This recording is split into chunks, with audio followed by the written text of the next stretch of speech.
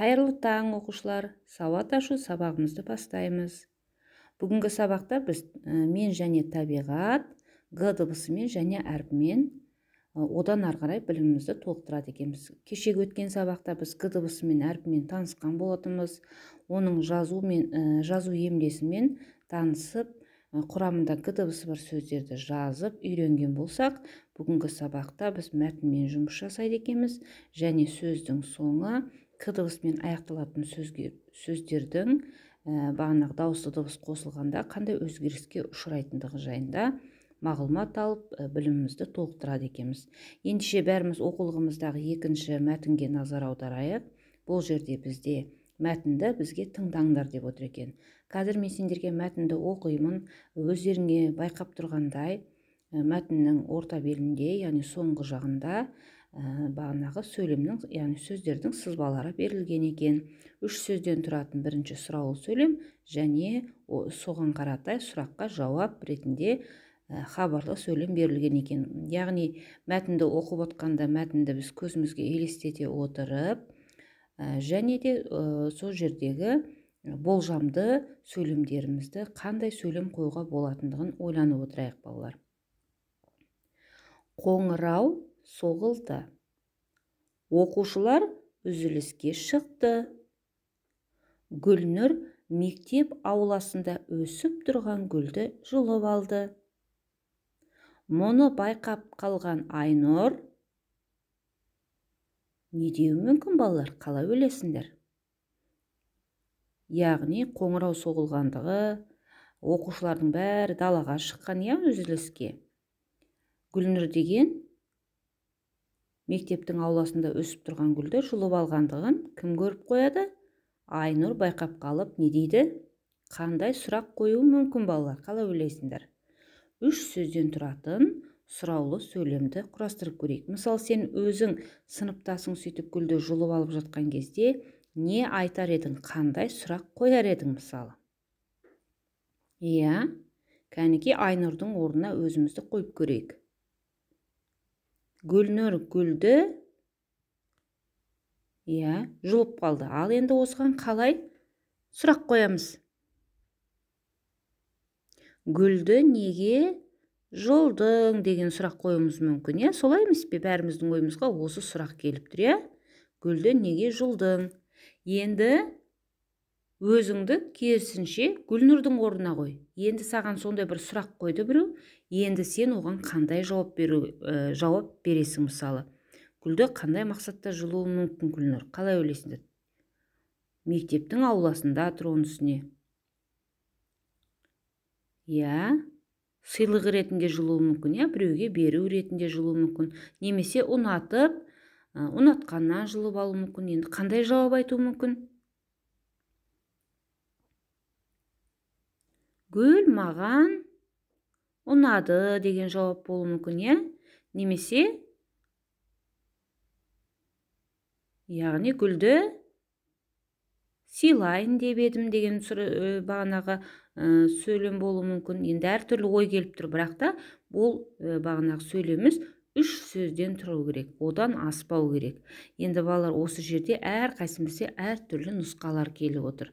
Енді осы нұсқаларды сендер қалай құрар едіңдер қандай ой айтты деп ойлайсыңдар сол жауаптарыңды маған яғни аудиозапись арқылы жіберулеріңе болады екен иә? Енді осы жердегі гүлнұр деген қыздың гүлді жұлып алуы дұрыс па қалай ойлайсыңдар балалар? Мектептің алдында әдемі болып өсіп тұр екен. Қалай ойлайсыңдар? Иә дұрыс айтасыңдар. Яғни әдемі өсіп тұрған гүлді жұлуға болмайтындығын сендер білесіңдер иә? Өйткені өсімдікті жайдан жай жұлуға болмайды екен. Өйткені ол да тірі ә, табиғат екен. Ә, оның керісінше әдемі болып өсіп тұрғандығын ә, біз бағанағы оған қамқорлық көрсетуіміз керек екен. Егер де біреуге сыйлық жасағымыз келсе мысалы ыдыста отырғызылатын бөлме гүлдері бар соларды отырғызып соны баптап өсіріп қарап содан кейін оны сыйға тартуымызға болады екен. Ал енді жолда өсіп тұрған гүлді сен жұлып аласың бірақ ол көпке дейін қайтпейді тұрмайды екен ол көп ұзамай тез арада солып қалады екен. Немесе арнайы дүкендерде де гүлді бағанағы сататын орындар бар. Сол жерден алып бағанағы сыйға тартуға болады екен. Міне осыны есімізде сақтауымыз керек екен балалар. Енді балалар бәріміз оқулығымыздың соңындағы үшінші тапсырмаға назар аударайық. Балалар біз өткен сабақта естеріңде болса 93-ші сабақта сөз соңы қымен аяқталатын сөздерді талқылаған болатынбыз. Сол сөздің соңы қымен аяқталатын сөздерге дауысты ы дыбысын қосқан кезде бізде қ дыбысы ғ айналған болатын есімізде болса. Ал енді бүгінгі сабақта мына жердегі сөздердің бәрін назар аударасақ барлық сөздердің соңы к дыбысымен аяқталып тұр екен яғни терек шелек ілгек мысалы иә? Ә, сол сияқты мысалы тағы да көптеген сөздер бар. Енді бұл кітапта тек қана шектеулі үш ақ сөз беріліп тұр екен. Енді ойша өздеріңде осындай к дыбыспен аяқталатын біршама сөздерді дәптерімізге жазып және оған тура осы ретте дауысты дыбысты қосып айтып көрулеріңе болады. Сонда қандай өзгеріске ұшырайтындығын өздерің байқайды екенсіңдер. Сонда көрдіңдер ме балалар?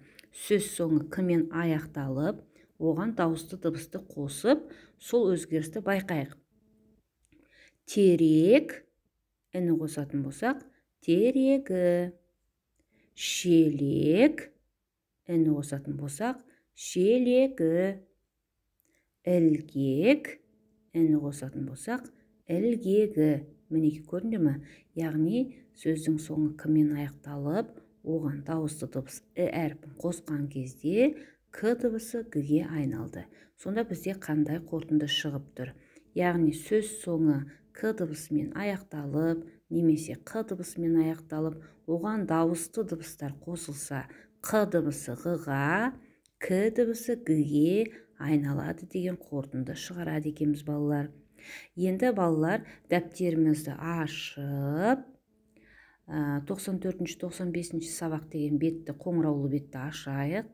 Осы жерде біз кеше г дыбысын жазып және сонымен қатар ге га деген буындарды жазған болсақ енді бүгінгі кезекте біз үш сөзді дәптердің соңғы жағына әдемілеп отырып жазады екенбіз. Бірінші сөзіміз бізде шеге одан кейінгісі ардагер және ең соңында егеу деген сөз тұр екен. Бұл сөздердің мағынасын ашып жатудың қажеті жоқ деп ойлаймын. Өйткені біз оны күнделікті қолданып жүрміз. Шеге деген құрал екендігін яғни зат екендігін егеудің де не екенін білеміз. Ардагер деген ол зейнеткер адамды екендігін біліп тұр екенбіз. Ардагер деген сонымен қатар мысалы соғысқа қатысқан ұлы отан соғысына қатысқан ә, бағанағы ә, қарт кісілер иә кезінде жауға аттанған елімізді жерімізді қорғаған адамдарды ардагер адамдар деп айтады екенбіз. Жақсы. Енді осы сөздерді әдемілеп отырып жолдың бойына домалақтап әдемілеп жазып ә, шығамыз. Бүгінгі міне балалар сабағымыз аяқталды. Ә, белсенділік танытқандарың үшін рахмет. Бірінші тапсырманы өз нұсқаларыңды жазып ә, маған жіберулеріңе болады. Сау болыңдар.